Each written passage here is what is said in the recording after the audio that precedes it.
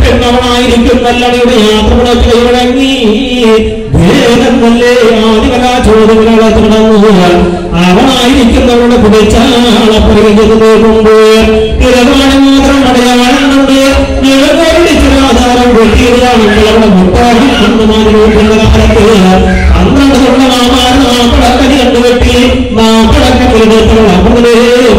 കാണുന്നു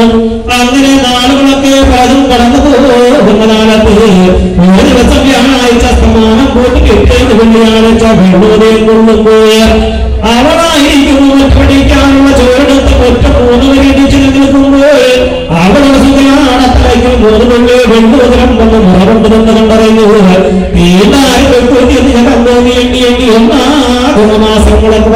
ചെല്ലേ ഒന്നാകുന്ന മാസത്ത് ഒരു പെണ്ണിന് ഗർഭം ഉണ്ടോ ഇല്ലയോ എന്നുള്ള ഇടപഴക്കം പരിവഴക്കം സംശയങ്ങളെന്ന് തോന്നി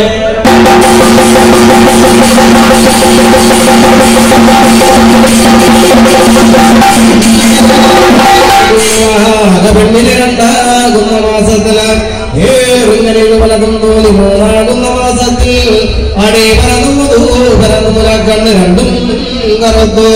നാലാകുന്ന മാസത്തിൽ വെട്ടിവെച്ച നാക്കില പോലെ ഗർഭം അടി പരന്ന് കാണുമല്ലോ അഞ്ചാകുന്ന മാസത്തിൽ പഞ്ചമാഭൂതികൾക്ക് ഏകം തോന്നു കാണുന്നു വാണ്ടിയിടുന്നവർ തിരഞ്ഞ ഭൂമിയിടുന്ന കുമ്പളങ്ങ വട്ടമൊത്തകേന ഗുരുതരെ ചേർക്കൊല്ലി മൂത്തരച്ച് മൂത്രച്ച് മുക്കിടങ്ങ് കാവത്ത് ഉമ്മകിടങ്ങ് വീട്ടിലിടങ്ങ് മുതലക്കിടങ്ങ് കുളവാടകുളച്ചേന കോഴിവാക പെണ്ണ് കൊണ്ടുവന്ന് പച്ചനെ തിന്നു കൂട്ടാൻ വെച്ചു കൂട്ടി അവളുടെ ഗർഭചാരോ ഒരു കണക്കിനക്കരെ കാണുമല്ലോ ആറാകുന്ന മാസത്തില.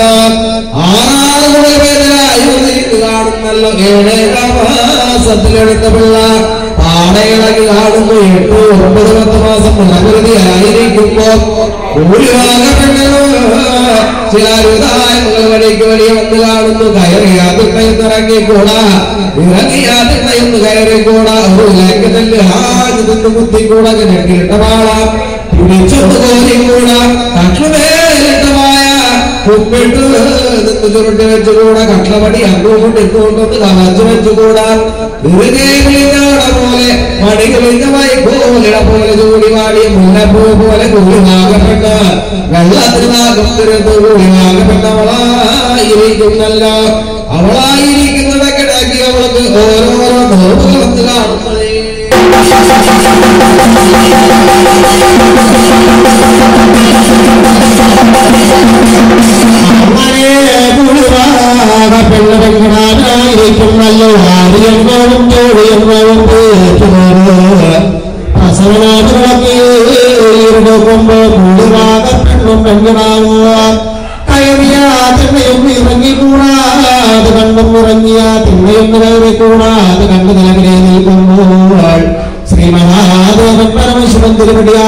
നല്ലച്ഛനെ മനസ്സിൽ നിരന്തു പോയി.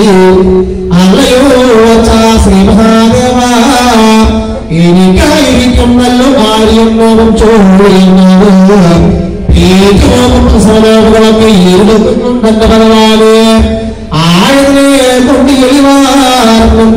മുഴുവനാലും വന്നാലോ?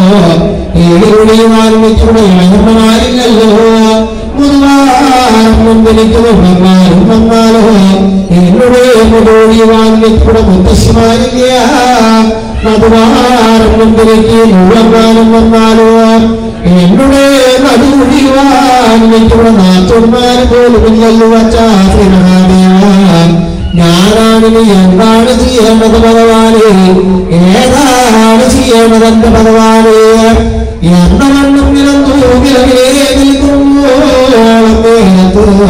കൂടിവാകപ്പെട്ട പെൺകിടാവിനെ മനസ്സിലും ഒരു പ്രദേശം നിരന്തു കണ്ടുകളായിരിക്കുന്നല്ലോ കൂടി കത്തു നിൽക്കുന്ന കരിമരാമാതാവെ കൂടി കൊണ്ടുവച്ചു കാണുന്നല്ലോ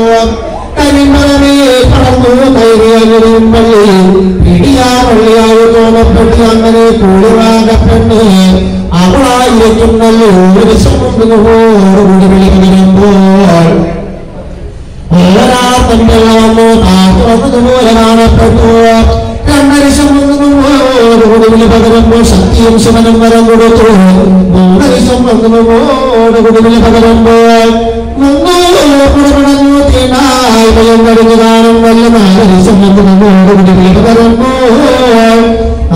നാരായണ സ്വാമി നാടകത്തിന്റെ വരം വന്ന് നമ്മോട് കുടിവിൽ പകരുമ്പോൾ പറഞ്ഞു.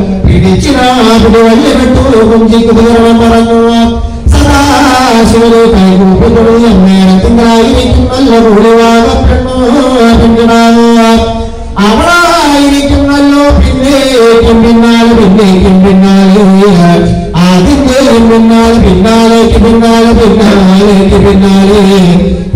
കൂടിവാകപ്പെണ്ണി അവളായിരിക്കും നല്ലോ പത്ത് മുന്നൂറ്റി മുപ്പത്തിയഞ്ച് ആരാറുണ്ണി മക്കളെ പ്രസവം കഴിഞ്ഞു നേരം.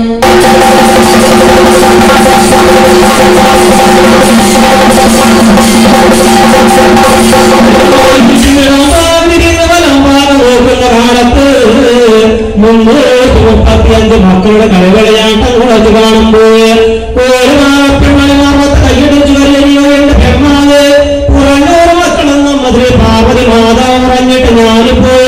മുന്നൂറ്റി മുപ്പത്തി അഞ്ച് മക്കളെ എന്തിനെന്നാലും എന്റെ അടിയോർ ഒട്ടും തന്നെ തികച്ചു കാണാനില്ല എന്റെ അടിവേക്ക് വണ്ട് പോലെ കൂടുന്നുണ്ടല്ലോ നാളെ പോലെ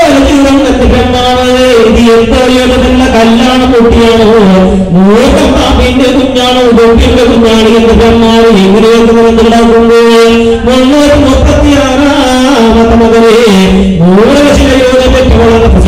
കഴിച്ചു മൂലവശിലയൊന്ന് കിടന്നു നോക്കുമ്പോൾ ആ മകനോരോരോ തോന്നപ്പെട്ട് നെറ്റിയിൽ മഞ്ഞ ചൂട്ടിയുള്ളവനാണ് കുറേയൊരിക്കലും അഴകിൽ പെരിയവനെന്ന് തോന്നുന്നു അന്തേ കൂടിമാകാൻ മുന്നൂറ്റി മുപ്പത്തി ആറ് മക്കളെ വിളിയേറെ വിളിയെന്ന് കഴിപ്പിച്ചു വെറും വെള്ളാക്കാച്ചകളും വിളിയും കഴിഞ്ഞ്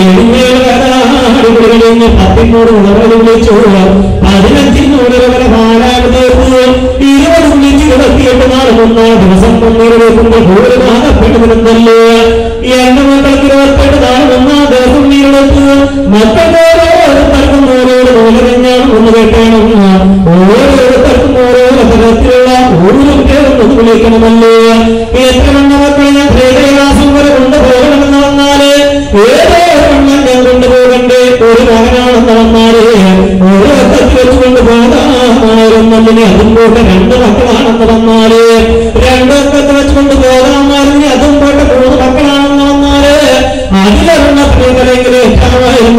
പോട്ടെ നാല് മക്കളാണെന്ന് വന്നാൽ എങ്ങനെയെങ്കിലൊക്കെ നടത്തിക്കൊണ്ട് പോയെന്നുള്ള എത്ര കണ്ട മക്കളെ കൈകൈലാസം പോകുന്നതില്ലാണ് ഇങ്ങനെയൊക്കെ എന്തുകൊണ്ട് അവളായിരിക്കുന്ന നാട്ടുകാരെന്ന കിളിക്കത്തിയെങ്കിലും നാല് മിനിറ്റിലേക്ക് വേഗം തന്നെ അവൻ കാട്ടേക്ക് നടന്നിരുന്നു അവൻ കോലുകളും തെരുവും കോലുകളൊക്കെ കെട്ടിയതൊക്കെ വെലുവിൽ കിടന്ന് വെള്ളി മാട്ടം മാറ്റി.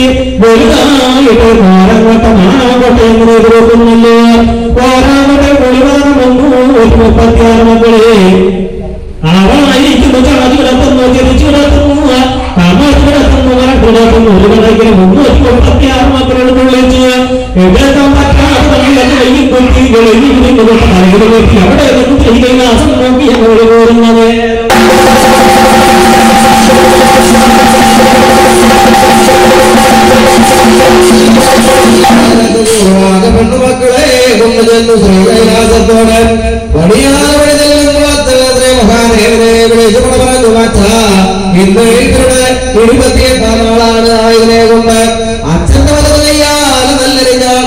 കിട്ടി പേരുന്നു കൂട്ടി വിളിച്ചേ മതിയാവുള്ളൂ എന്നതിനെ കേൾക്കുമ്പോൾ അച്ഛന്റെ മഹാദേവൻ എന്ന് പറഞ്ഞുവല്ലോ എന്റെ കൂടിവാകെ ഇത്രയും മക്കളല്ലെന്ന് കിട്ടി പേര് കൂട്ടി വിളിക്കണമെന്ന് വന്നാൽ ചേരമാ ജനനാട്ടിലെ മഞ്ഞുനൂൽ പോകും കൂളിവാകെ ആയതിനെ കൊണ്ട് ഞാനൊരു ഉപദേശം കണ്ടിട്ടുണ്ട് കൂളിവാകെ നീയായിരിക്കുന്നല്ലോ പാർവള്ളി നോട്ടത്തിൽ ചെന്ന് ചാൺ വെച്ചു കുളം വെച്ചു എട്ട് പത്ത് പന്ത്രണ്ട് കെട്ട്. പാർവള്ളിയാകുന്നാരും വെയിലത്തിട്ട് വെള്ളു വാദം പാട്ടെ. എന്റെ വലത് ഭാഗ്യ കൊണ്ടുവരുപിടിപ്പിക്കണം എന്നതിനെ കേൾക്കുമ്പോ പാർവള്ളി തോട്ടത്തിൽ കടന്നു ചെന്ന് ചാൺ വെച്ചു കുളം വെച്ചു എട്ട് പത്ത് പന്ത്രണ്ട് കെട്ട്. പാർവള്ളിയാലും വിളിച്ചു അച്ഛന്റെ വലത് ഭാഗ്യം കൊണ്ടുവരുപിടിപ്പിച്ചു അന്നേരത്ത് കൂളിവാക അച്ഛനോട് നിന്ന് വളർപ്പണവരത് കാണുന്നു. അല്ലയോ അച്ഛ ശ്രീ മഹാദേവ ഞാൻ മക്കളെ വെറും കുളി കുളിപ്പിച്ചു കൊണ്ടുപോരാ ദുഃഖമില്ല എന്നും പറയുന്ന കൂടി വാകാം മാനസോരാകോട്ടയിടത്തേക്ക് അച്ഛൻ കുളിക്കുന്ന കാറുള്ള വളർന്ന് പേരാക്കി കൊണ്ടു ചെന്നു ഓരോരോ മക്കളെ കുളിപ്പിച്ചു അച്ഛന്റെ വലത് ഭാഗ്യ കൊണ്ടുപോയിടിപ്പിച്ചു അന്നേരം മഹാദേവൻ ആ ദിവസം കിടക്കത്തിലേക്ക് വരായിരിക്കുന്നല്ലോ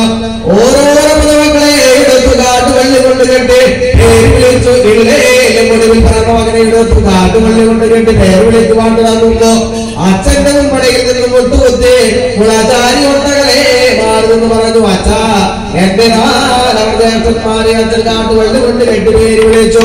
എന്നെ നല്ല കണ്ടേ വിളിക്കണമെന്ന് വന്നാൽ അച്ഛന്റെ മെന്നെ കിടക്കുന്ന പൂട് തോലിൽ നിന്ന് ഒരിട പൂട് തോൽ വലിച്ചു കൊണ്ടുവച്ചു നവരത്നമുളക് കൊത്തി കോർന്നു ഇടതുഭാഗം കൊണ്ട് ആശകാറ്റ് വലതുഭാഗം കൊണ്ട് നല്ലൊരു കണ്ടേ വിളിക്കണം എന്നതിനെ കേൾക്കുമ്പോ ബന്ധേ കിടക്കുന്ന മൂന്ന് നൂലിൽ നിന്ന് ഒരിട മൂന്ന് നൂൽ വലിച്ചു കൊണ്ടുവച്ചു നവരത്നമുളക് കുത്തി കോർത്തു ഉപ്പാട് പറഞ്ഞ ഓരോരോ മക്കളെ ഓരോരോ പേര് വിളിച്ചു ആദ്യ കുട്ടിയാണ് ആദ്യ കുട്ടി കുട്ടി കുട്ടി കുട്ടിലാ കുട്ടി കുട്ടിലേ കുട്ടി മൂളിലേ കുട്ടി ഓരോ കുട്ടി നാട് കുട്ടി മച്ച കുട്ടി മവിട കുട്ടി രക്ത കുട്ടി വൈദൂര് കുട്ടി മാടത്തെ കുട്ടി കുട്ടി കുട്ടി കുട്ടി കുട്ടി കുട്ടി കേട് കുട്ടി കുട്ടി കുട്ടി കുട്ടി കീഴ്പുള്ളി കുട്ടി മത്തല്ലൂര് കുട്ടി പൊന്നാരകരി കുട്ടി എന്ന് പേർ വിളിച്ചു അങ്ങേ മഹാനാൻ ഇല്ലേൽ മുറിവ് പിറന്ന മകയിടത്തോ